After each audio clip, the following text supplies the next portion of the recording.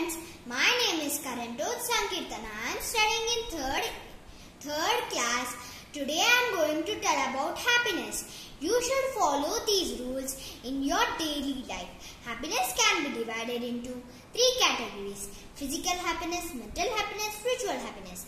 These are brief summary of steps to take for achieving in our lives.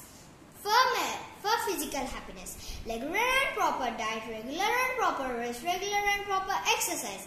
For mental happiness, minimize expectations, minimize ego and pride, minimize negative thoughts. For spiritual happiness, recognize your soul as a separate entity from the body. Do not live in past of any memories and experiences. Do not, do not worry about the future but plan for it. Do, free yourself from the past, present of any attachments. Beings without any expectations. Meditate regularly and surrender to the Supreme Soul. Be happy always.